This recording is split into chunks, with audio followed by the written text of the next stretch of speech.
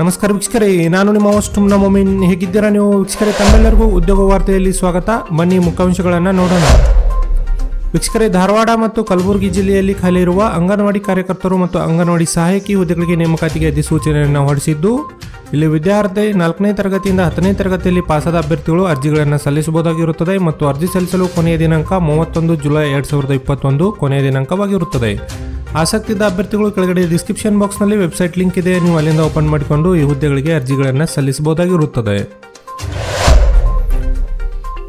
ಇಲ್ಲಿ Indian coast ಗಾರ್ಡ್ನಲ್ಲಿ ನಾವಿಕ ಹುದ್ದೆಗಳಿಗೆ ನೇಮಕಾತಿಗೆ ಅಧಿಸೂಚನೆಯನ್ನು ಹೊರಡಿಸಿದ್ದು ವಿದ್ಯಾರ್ಥಿ ಹತ್ತನೇತೆ ಅಥವಾ ಹನ್ನೆರಡನೇ ತರಗತಿಯಲ್ಲಿ ಪಾಸಾದ ಅಭ್ಯರ್ಥಿಗಳು ಅರ್ಜಿಗಳನ್ನು ಸಲ್ಲಿಸಬಹುದಾಗಿರುತ್ತದೆ ಮತ್ತು ಅರ್ಜಿ ಸಲ್ಲಿಸಲು ಕೊನೆಯ ದಿನಾಂಕ ಹದಿನಾರು ಜುಲೈ ಎರಡು ಸಾವಿರದ ಇಪ್ಪತ್ತೊಂದು ಕೊನೆಯ ದಿನಾಂಕವಾಗಿರುತ್ತದೆ.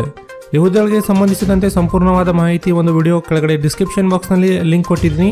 ಅದನ್ನು ನೋಡಿಬಿಟ್ಟು ನೀವು ಸಂಪೂರ್ಣವಾದ ಮಾಹಿತಿಯನ್ನು ಈ ಹುದ್ದೆಗಳ ಬಗ್ಗೆ ಪಡೆಯಬಹುದಾಗಿರುತ್ತದೆ. ವೀಕ್ಷಕರೇ ಎಸ್ ಎಸ್ ಸಿಯಿಂದ ವಿವಿಧ ಹುದ್ದೆಗಳಿಗೆ ಒಂದು ಪರೀಕ್ಷಾ ದಿನಾಂಕಗಳನ್ನು ಇಲ್ಲಿ ಫಿಕ್ಸ್ ಮಾಡಲಾಗಿದೆ. ಇಲ್ಲಿ ಎಸ್ ಎಸ್ ಸಿಯಿಂದ ಕರೆಯಲಾಗಿರುವ ಒಂದು ಡೆಹಲಿ ಪೊಲೀಸ್ ಎಕ್ಸಾಮ್ ಡೇಟ್ಗಳು ಹೀಗೆ ಇರುತ್ತೆ ನೋಡಿ. ಇಪ್ಪತ್ತಾರು ಜುಲೈ ಎರಡು ಸಾವಿರದ ಇಪ್ಪತ್ತೊಂದರಂದು ಡೆಹಲಿ ಪೊಲೀಸ್ ಇಲ್ಲಿ ಪರೀಕ್ಷೆಗಳು ನಡೆಯಲಿವೆ.